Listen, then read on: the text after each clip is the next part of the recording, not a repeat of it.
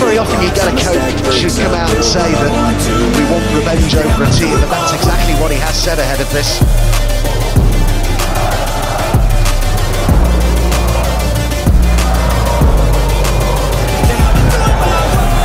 It's a bright start this by Montenegro. Samaj.